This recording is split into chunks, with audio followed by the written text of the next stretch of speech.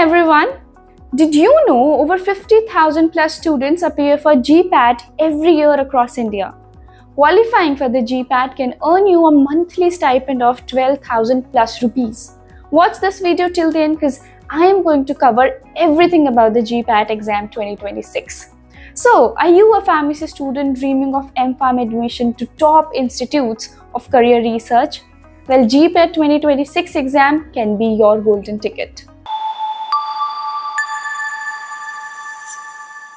And in today's video, we are covering everything you need to know from eligibility syllabus to smart preparation tips. So let's go. Well, as you might know what the GPAT exam is, but if it's new for you, then let's first understand what the GPAT exam is all about.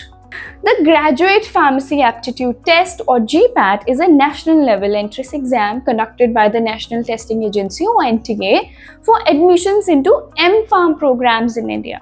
Now, the best part is that after clearing the exam, it awards scholarships and fellowships to pharmacy graduates.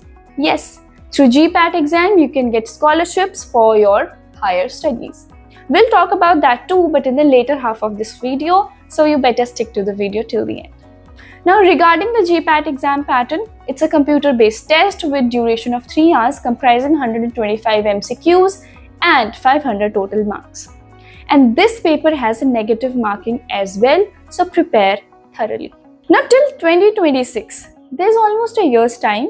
It's enough to prepare and it's always said to have an upper hand to start at the earliest in any exam. So note down these GPAT 2026 key dates. Now while NTA hasn't officially released the 2026 schedule yet, has the expected timeline based on past years. Application starts from January 2026 admit card in May 2026. The exam date will be at the end of the May or early 2026 June. Result in June 2026. We'll also post an update as soon as the official dates are announced. So hit the subscribe button and turn on the bell icon to stay informed about GPAT 2026. Now, what are the eligibility criteria to take the GPAT exam? To appear for the GPAT, you need to have a bachelor's degree in pharmacy of 4 years or you can be in your final year to be eligible for the GPAT exam.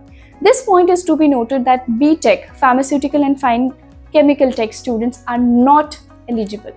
Now the syllabus and subjects, the GPAT syllabus includes core subjects from your pharmacy degree and here on your screens are the topics to focus on.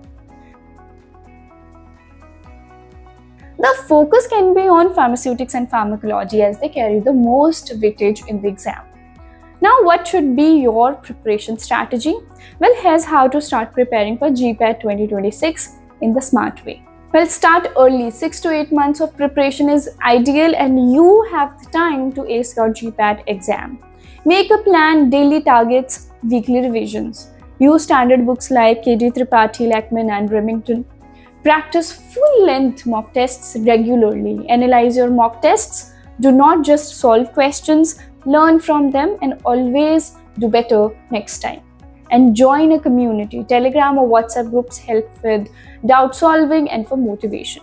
And as I mentioned earlier, the scholarships and opportunities. Well, if you crack GPAT, you're also eligible for an AICTE scholarship of 12,400 rupees per month during your MPharm studies. Plus, top scorers can land in premier institutes like NIPERS. And that's your complete guide to GPAT 2026. If you found this helpful, give it a thumbs up, share it with your pharmacy squad and subscribe for future videos on preparation strategies, mock tests and much more.